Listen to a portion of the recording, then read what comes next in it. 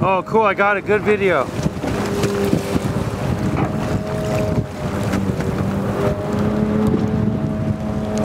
Nobody will believe it.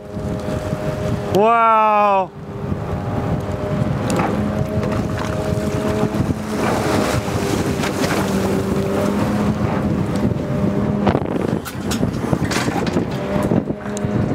Get a panoramic of the whole, what's going on here. Got to pan slow, otherwise it's real jerky, blurry.